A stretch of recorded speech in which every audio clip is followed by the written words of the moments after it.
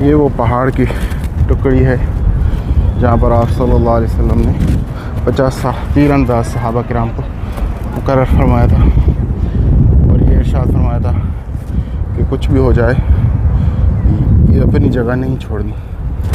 वहाँ पर मार का हुआ था। तो इस साहबा ने जैसे ही जगह छोड़ी तो इस तरफ़ से फिर कर ऐसे घूम फिर कर, फिर उस तरफ़ से आकर पीछे से जो है हज़रत खालिद बिन वलीद अभी मुसलमान नहीं हुए थे तो वहाँ पीछे से आकर मुसलमान के ऊपर हमला कर दिया। अब इस तरफ़ आगे से भी जो है मुसलमानों के जो है कुफार थे, और पीछे से भी। तो उनको समझ में नहीं आया कि अब क्या किया जाए, और दोनों तरफ़ से कुफार ने मुसलमानों को घेर लिया। वो कह रहे थे कि जब यहाँ पर बंद नहीं किया गया था, ये गार खुला हुआ था, अभी तो इसको बंद कर दिया गया है। तो वो यहाँ पर आए थे। तो वो बता रहे थे कि जब मैं वहाँ आया तो मुझे एक बहुत ही अनोखी खुशबू महक आने लगी, कि ऐसी मैंने कभी देखी नहीं थी। क्योंकि आप सल्लल्लाहु अलैहि वसल्लम ज़ख्मी हालत में यहाँ आए थे तो आप सल्लल्लाहु अलैहि वसल्लम का लहू मुबारक यहाँ पर गिरा था। तो उसकी खुशबू कई सदियाँ बीत जाने के बाद भी यहाँ से आती रही है। बसमीम अभी हम मौजूद हैं उस जगह जहाँ पर मार्का अहद हुआ था।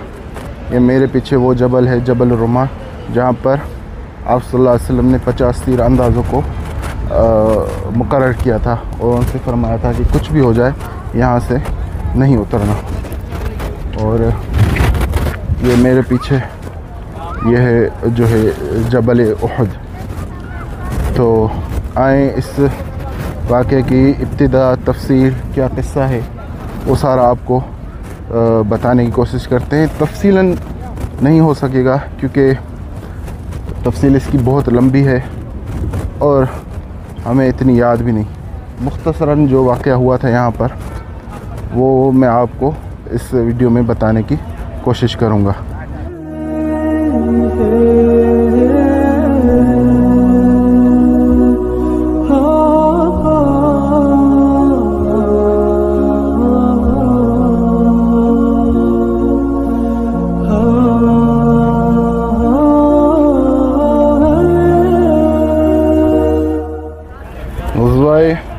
बदर के बाद मतलब गजवा बदर में जब मशरक़ान को एक बहुत बड़ी शिकस्त हुई और उनके बड़े बड़े सरदार जो है, उसमें कत्ल किए गए।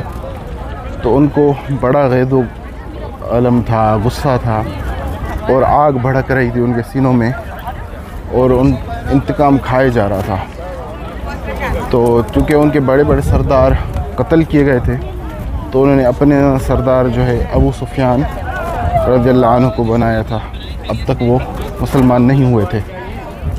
तो आए तो उन्होंने जो है प्लानिंग शुरू कर दी फ़ौरनी।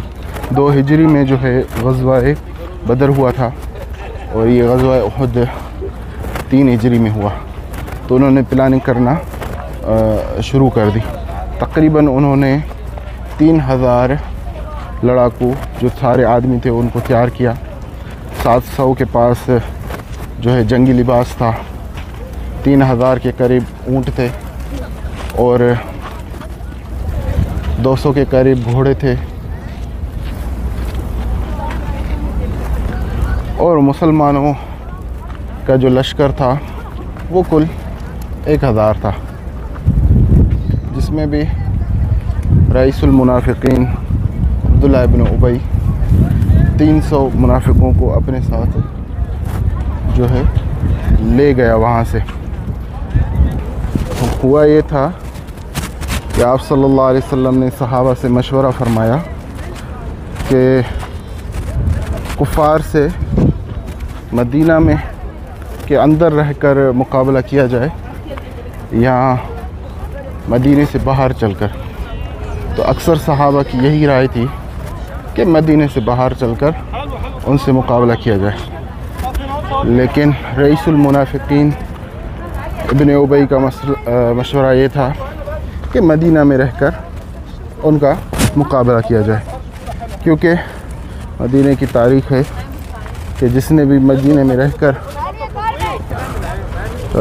लड़ाई की है, उसको कभी शिकस्त नहीं हुई। तो आप सल्लल्लाहु अलैहि वसल्लम ने सहाबा का मशवरा माना और अब्दुल्ला बिन उबई का मशवरा नहीं माना। तो उसको ये बात पसंद नहीं आई और वो अपने 300 सौ मुनाफिकीन को साथ लेकर वहाँ से फ़रार हो गया।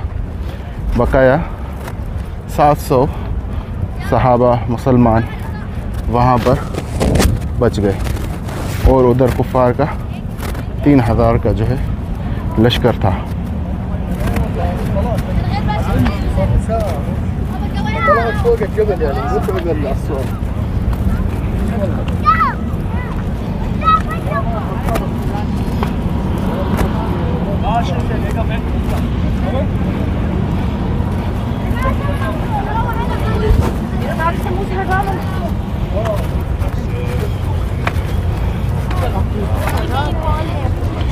Thank you.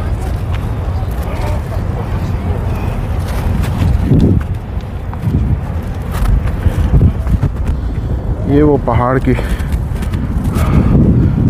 टुकड़ी है, जहाँ पर आप सल्लल्लाहु अलैहि वसल्लम ने पचास सहाबा कराम को, पचास तीर अंदाज सहाबा कराम को मुकर फरमाया था और ये इरशाद फरमाया था कि कुछ भी हो जाए, ये अपनी जगह नहीं छोड़नी। लेकिन जब लेकिन जब शुरू शुरू में मुसलमानों को फतह होने लगी थी। और मुसलमान जो है, उनका माल गनीमत जमा कर रहा था। तो इन सहाबा ने भी सोचा कि बस अब फतह हो गई है और हम भी बकाया मुसलमानों के साथ जाकर माल गनीमत इकट्ठा करें। यहाँ पर जो अमीर थे इन तीन अंदाज अब्दुल्ला बिन जुबैर उन्होंने उनको बहुत रोका कि रसोल्ला सल्लल्लाहु अलैहि की बात मानो और अपनी जगह छोड़ कर न जाओ। लेकिन वो छोड़ कर चले गए। फिर यहाँ पर जो है कुल दस सहाबा बाकी रह गए अब्दुल्ला बिन जुबैर रज़ी अल्लाह के साथ। जैसे ही हज़रत खालिद बिन वरीद रज़ी ने देखा कि ये सहाबा ने अपना जो है जगह यहाँ से छोड़ दी है तो वो अब जैसे वहाँ पर मार का हुआ था। तो इस साहबा ने जैसे ही जगह छोड़ी तो इस तरफ़ से फिर कर ऐसे घूम फिर कर फिर उस तरफ़ से आकर पीछे से जो है हज़र खालिद बिन वलीद अभी मुसलमान नहीं हुए थे तो वहाँ पीछे से आकर मुसलमान के ऊपर हमला कर दिया। अब इस तरफ़ आगे से भी जो है मुसलमानों के जो है कुफार थे और पीछे से भी। तो उनको समझ में नहीं आया कि अब क्या किया जाए। और दोनों तरफ़ से कुफार ने मुसलमानों को घेर लिया। और फिर शैतान ने यह अफवाह उड़ा दी कि नाऊद बिल्ला आप सल्लल्लाहु अलैहि वसल्लम शहीद हो गए हैं। ये ख़बर सुनते ही सहाबा लड़खड़ा गए और उनको समझ में नहीं आया कि अब हम जो है क्या करें, क्या करना है? इसी असना में आप सल्लल्लाहु अलैहि वसल्लम पर कई हमले हुए। आप सल्लल्लाहु अलैहि वसल्लम के दंदान मुबारक टूट गए। आप सल्लल्लाहु अलैहि वसल्लम के रुखसार मुबारक के अंदर वो जो खोब होता है, लोहे का जो सर पर पहन जाता है, उसमें कड़ियाँ होती हैं। वो कड़ियाँ आप सल्लल्लाहु अलैहि वसल्लम के रुखसार मुबारक के अंदर घुस गईं और आप सल्लल्लाहु अलैहि वसल्लम ज़ख्मी हो गए। और खून बहने लगा। एक सहाबी ने आकर आप सल्लल्लाहु अलैहि वसल्लम का जो खून बह रहा था, उसे मतलब चूस लिया या पी लिया कह लें। तो आप सल्लल्लाहु अलैहि वसल्लम ने फरमाया, जिस शख्स के अंदर किसी नबी का खून आ जाए, उसको जहन्नम की आग नहीं जला सकती। तो सहाबा में इंतशार फैल गया और इधर उधर सहाबा जो है चले गए। और फतह जो है, वो हार तो नहीं कह सकते, लेकिन यह है कि जो मुसलमानों के हाथ में चीज़ थी, वो उनके हाथ से निकल गई। फिर जो है अभी इन हम इधर अंदर जाएँगे, वहाँ ये घर बने हुए हैं। इधर अंदर गलियों में एक गार है जहाँ पर आप वसल्लम और सहाबा फिर पना गुजीन हुए थे क्योंकि कुफार ने जंगी लिबास पहना था भारी तो वो जबल उहद नहीं चढ़ सके थे। और फिर वहाँ से ही वो वापस मक्के को लौट गए। अबू सुफियान की घरवाली हिंद जो थी क्योंकि उसका भाई उसका बाप जंग बदर में कत्ल हुए थे तो उसने ठान ली थी कि वो मतलब इंतकाम लेगी। और उसने कसम खाई कि वो हज़रत हमज़ा रज़ा का, अनहु का कलेजा चबाएगी। तो इस काम के लिए वहशी को मुकर किया गया था। वो जंग के दौरान छुप छुपा कर हज़रत हमदा रज़ी की ताड़ में रहता। फिर एक जगह उसने मौका पाकर पीठ पीछे हमला करके नेज़ा उनको मारा, जो पीठ से पे लगा और नाफ की तरफ़ से निकल गया। और कुछ ही देर के बाद हज़र हमज़ा रज़ील्लान अपने खाल के हकीकी से जा मिले। फिर फिर बाद में जो हिंद ने जो कसम उठाई थी कि हज़रत हमज़ा का कलेजा चबाएगी, उसने ऐसा ही किया। आप सल्लल्लाहु अलैहि वसल्लम को जब ये ख़बर मिली तो आप सल्लल्लाहु अलैहि वसल्लम को बहुत ही ज़्यादा इस बात का गम हुआ और आप सल्लल्लाहु अलैहि वसल्लम बहुत ही गमज़दा हो गए। इस मार्के में तकरीबन सत्तर साहब कराम रिजवान अजमाइन जो है, वो शहीद हुए थे और उनको यहीं इसी मैदान में दफन कर दिया गया था।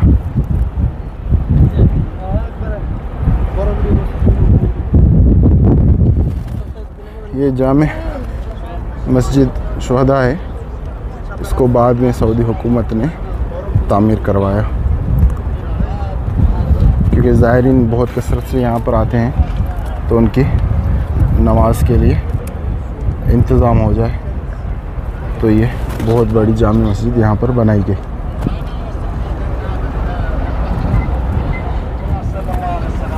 अभी हम चलते हैं नीचे वहाँ। जहाँ पर शहदा उहद मदफून है। वहाँ की ज़ियारत करते हैं। बहुत ही संभल कर चलना है। चढ़ना तो आसान है। उतरना थोड़ा दुशवार हो रहा है। तो बिस्मिल्लाह, अल्लाह का नाम लेकर उतरते हैं। ये पहाड़ी मेरे पीछे जहाँ पर सहाबा किराम पचास तीरंदाज सहाबा किराम खड़े थे। इसको जबल रुमात भी कहते हैं और असल जो है इसको कहते हैं दर्रा। अरबी ज़बान में दर्रा उस जगह को कहा जाता है जहाँ पर पहाड़ हो और पहाड़ से अलग ही एक छोटा यहाँ पर टेला हो।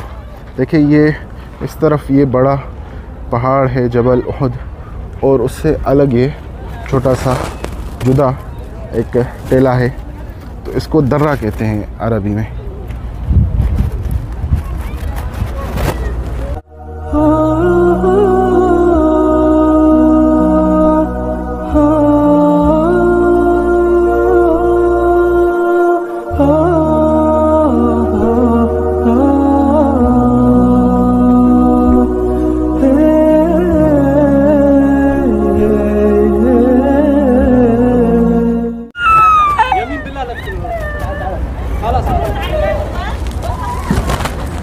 पर ये कुछ हिदायत लिखी हुई हैं उर्दू में।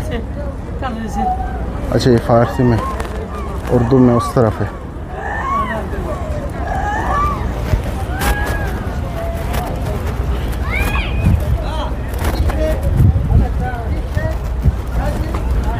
यहाँ पर है शहदा उहद की कबूर। अल्लाह अलहमदिल्ला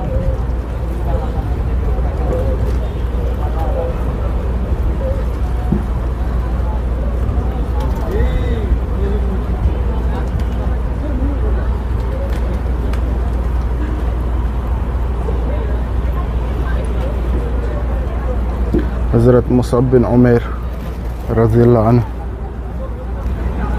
जो मक्के के बहुत खूबसूरत नौजवान थे और ऐसी खुशबू लगाते थे जो मक्के में कोई दूसरा शख्स खुशबू नहीं लगाता था मअतर शख्स थे लेकिन इस्लाम के बाद उन पर बहुत तंगियाँ आई बहुत शिद्दतें आई घर वालों ने उन्हें निकाल दिया अपनी माँ ने उन उस पर बहुत ज़्यादतियाँ की लेकिन इस्लाम की खातिर उन्होंने सब कुछ बर्दाश्त किया। और बहुत ही जल्दी यानी तीन हिजरी में शहीद हो गए और यहाँ पर हज़रत हमज़ा रज़ी के साथ दफन किए गए। मुसलमानों की हालत इतनी गुरबत वाली थी कि पूरा कफन तक आ, नहीं था। कुछ कफन था, कुछ जो है झाड़ियाँ, झाड़ियों से ढककर उन्हें यहाँ पर दफन किया गया। लेकिन यह है कि अल्लाह के पास उनके लिए बहुत ही अजीम मरतबा और बहुत ही आली महलात और जन्नतें हैं। हज़रत हमज़ा रज़ी फौत हुए थे यहाँ पर शहीद हुए थे। और अंसार के दूसरे साहबा भी शहीद हुए थे। तो आप सल्लल्लाहु अलैहि वसल्लम जब मदीना पहुँचे तो अंसार की औरतें अपने मर्दों के ऊपर जो है रो रही थी, क्योंकि उनके मर्द बहुत ज़्यादा शहीद हुए थे। तो आप सल्लल्लाहु अलैहि वसल्लम का गुज़र वहाँ से हुआ। तो आप सल्लल्लाहु अलैहि वसल्लम ने जब उनको रोते हुए देखा कि वो अपने शहीदों पर रो रही हैं तो आज अलैहि वसल्लम ने इरशाद फरमाया तो क्या हमज़ा पर कोई रोने वाली नहीं? हज़रत साद बिन उबादा रदील्ला ने ये बात सुन ली तो उन्होंने जाकर तमाम औरतों से कहा कि जाओ और हज़रत हमजा रज़ील्ला पर भी रो। तो वो आई और मस्जिद नबी सल्लल्लाहु अलैहि वसल्लम के बाहर बैठ गई। और वहाँ पर हज़रत हमज़ा रज़ील्ला पर रोने लगी। आप सल्लल्लाहु अलैहि वसल्लम घर आराम आप सल्लल्लाहु अलैहि वसल्लम ने पूछा कि ये कौन है? तो फरमाया कि अंसार की औरतें हैं और हज़रत हमज़ा रज़ील्ला पर रो रही हैं। फिर आप सल्लल्लाहु अलैहि वसल्लम आराम फरमाने लगे, सो गए। फिर जब इशा की नमाज़ पर उठे तो आप सल्लल्लाहु अलैहि वसल्लम ने फिर रोने की आवाज़ सुनी। तो आप ने पूछा कि कौन है? तो बताया गया कि ये वही औरतें हैं। और वसल्लम ने कहा कि अभी तक ये रो रही हैं। तो बताया गया कि जी हाँ अभी तक ये रो रही हैं। तो आप वसल्लम ने इरशाद फरमाया कि इनको कहो कि अब चली जाएँ। और आप वसल्लम ने उनके लिए दुआ फरमाई। उनके लिए दुआ फरमाई। फिर जब फिर जब सुबह हुई तो आप सल्लल्लाहु अलैहि वसल्लम ने सहाबा को आकर बहुत सख्ती से मना फरमाया कि आइंदा के बाद किसी शहीद पर, किसी मैत पर रोना नहीं है। उसके बाद जो है सहाबा जो है ये चीज़ ख़त्म हो गई। ये मस्जिद शहदा जो सऊदी हुकूमत ने बनाई है, माशाल्लाह। अभी अंदर चलते हैं, इसकी भी ज़्यारत करते हैं। आपको भी दिखाते हैं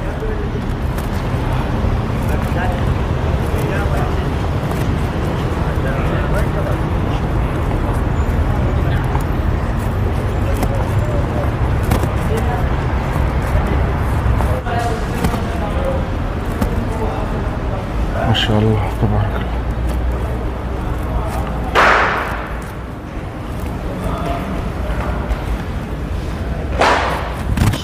तबारक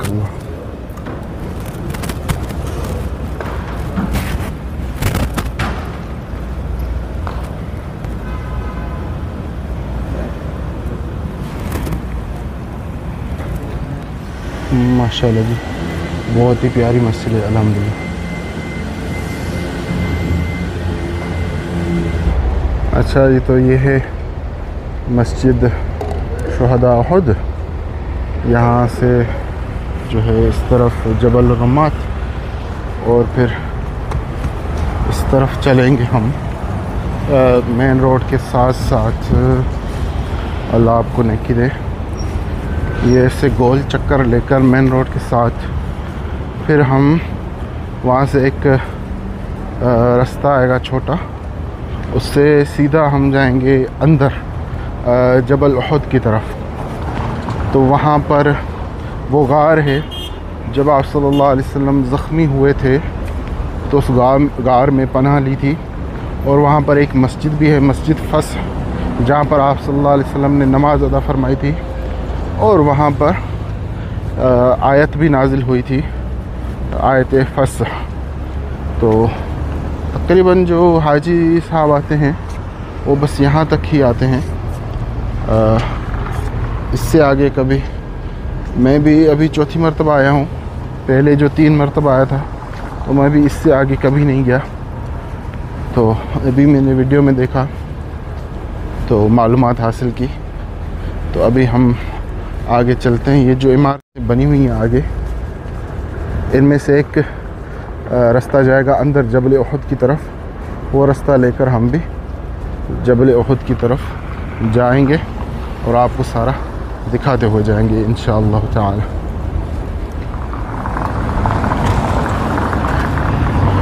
वैसे यहाँ से भी आप आए तो यहाँ से भी ये रास्ता बना हुआ है। इस तरफ़ से सीधा जो यहाँ से ये रास्ता निकल रहा है तो ये वाली गली है सीधा। इस गली से हम फिर सीधा जाएँगे। तो अब वहाँ से जबल रुमात से ये वाला रास्ता भी लेकर आ सकते हैं और फिर इसके सीधे इस गली से होते हुए वहाँ पहुँच सकते हैं। अभी हम रोड क्रॉस करेंगे, इंशाल्लाह, और फिर वहाँ चलेंगे। तो रोड अल्हम्दुलिल्लाह हमने क्रॉस कर लिया है। तो अभी हम उस गली में जाएँगे सीधा, जहाँ पर आगे जो है वो गार आता है। और आपको भी, सर। मेरे पीछे है ये। मस्जिद शहदा और जबल रुमात। और ये आगे, अब अब ये गली आ गई है। अब इस गली में सीधा जाते हुए वो अगार और मस्जिद आएगी इन और फिर हम आपको भी सब कुछ दिखा दे जाएँगे। मेन रोड से यहाँ से तकरीबन आधा किलोमीटर अंदर जाएँगे तो वो मस्जिद। आ जाएगी इन ताला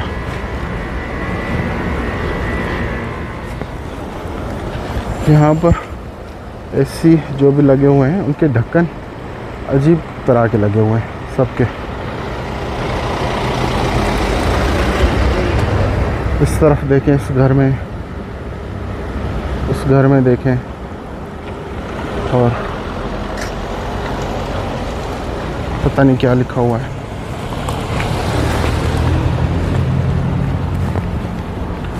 अभी इस गली में सीधा आकर हमें इस साइड पर जो है जाना होगा।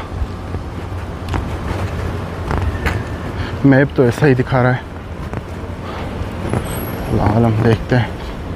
आगे चलते हैं।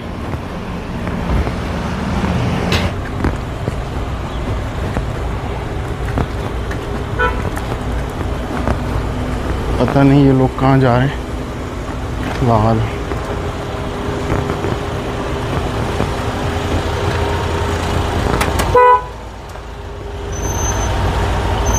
ये तो वो गार नहीं है। इनको कोई भूल हो गई है कि ये वो गार है। वो गार तो आगे है। अलहमदिल्ला, सऊदी हुकूमत अब मस्जिदों पर काम कर रही है। अभी यहाँ पर साइन बोर्ड भी लगा दिया है मस्जिद फस का। तो ये है वो मस्जिद अल्फस और इसके ऊपर ये, माशाल्लाह, ऊपर सजा भी बनाया हुआ है। अच्छा और बेहतरीन। और पहले तो ये एक छोटी छोटी मस्जिद थी। इस तरह थी, जैसे ये इसमें नज़र आ रही है। पहले इस तरह मस्जिद थी। अब इस पर काम जारी है। अब इस पर काम जारी है, अलहमदिल्ला। और, ये मेरे पीछे आप देख सकते हैं, ये बोर्ड भी लगा हुआ है, और ये मस्जिद है अल्हम्दुलिल्लाह मस्जिद अल्फस यहाँ पर आप सल्लल्लाहु अलैहि वसल्लम ने नमाज़ भी अदा फरमाई थी, और यहाँ पर कुरान करीम की आयत नाजिल हुई थी। या अय्युहल्लज़ीना आमनु, इज़ा क़ील लकुम तफस्सहु फिल मजालिस फफ्सहु यफ्सहल्लाहु लकुम। ए ईमान वालो जब तुमसे कहा जाए कि मजलिस में कुशादगी करो तो तुम मजलिस में कुशादगी करो। अल्लाह ताला तुम्हारे दरमियान कुशादगी करेगा।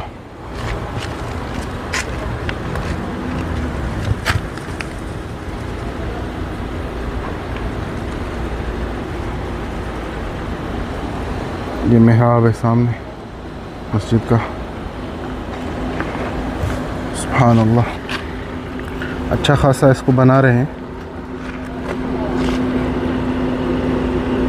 सऊदी हुकूमत अभी काफ़ी काम कर रही है। अंदर अच्छा खासा इसको बना रहे हैं। वो उन लोगों को वहाँ पर गलती हुई कि वो गार वहाँ पर है, वो अंदर बहुत तंग रास्ते में जा रहे थे। जो मशहूर है, वो तो वो आगे है मेरे आगे। मैं आपको दिखाता हूँ। मशहूर गार है, वो ये है, जिसको सीमेंट से बंद कर दिया गया, ये वाला गार ये वाला घर है जिसको बंद कर दिया गया। इसके बारे में मशहूर है कि यहाँ पर आप सल्लल्लाहु अलैहि वसल्लम ने पनाह ली थी। इसके करीब चलते हैं।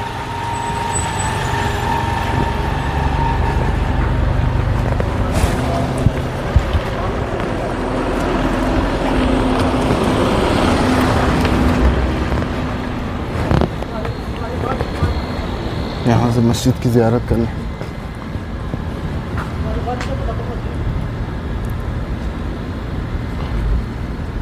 तकरीबन वहाँ से एक किलोमीटर या पौना किलोमीटर का फासला होगा। जबल रुमात या शहदा की मस्जिद जो बनी हुई है। तो ये है मेरे सामने वो गार, जहाँ पर आप सल्लल्लाहु अलैहि वसल्लम ने पनाह ली थी। नेट पर वीडियो मौजूद है उन अरब हजरात की, मैंने देखी। वो कह रहे थे कि जब यहाँ पर बंद नहीं किया गया था, ये गार खुला हुआ था, अभी तो इसको बंद कर दिया गया है। तो वो यहाँ पर आए थे। तो वो बता रहे थे कि जब मैं वहाँ आया तो मुझे एक बहुत ही अनोखी खुशबू महक आने लगी, कि ऐसी मैंने कभी देखी नहीं थी। क्योंकि आप सल्लल्लाहु अलैहि वसल्लम ज़ख्मी हालत में यहाँ आए थे तो आप सल्लल्लाहु अलैहि वसल्लम का लहू मुबारक यहाँ पर गिरा था। तो उसकी खुशबू कई सदियाँ बीत जाने के बाद भी यहाँ से आती रही है। अभी भी आती रही होगी। ये मेरे पीछे वो कार है। अल्हम्दुलिल्लाह। अल्लाह ताला ने मुझे ये शहादत बख्शे कि मैं यहाँ तक पहुँच पाया। अल्लाह थोड़ा और गार के नज़दीक आपको ले चलते हैं।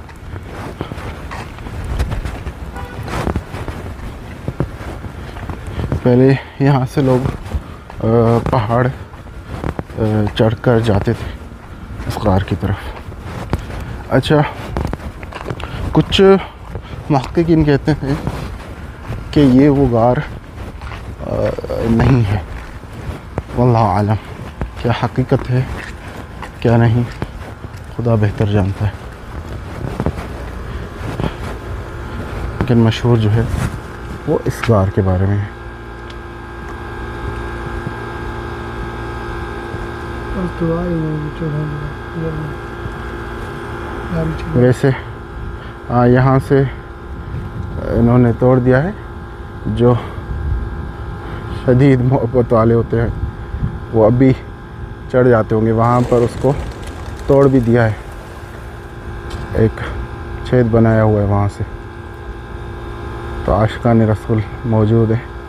हुकूमत ने यहाँ पर जाली लगाई है, पर उसको भी उन्होंने यहाँ से तोड़ दिया है। तो अभी हम चलते हैं।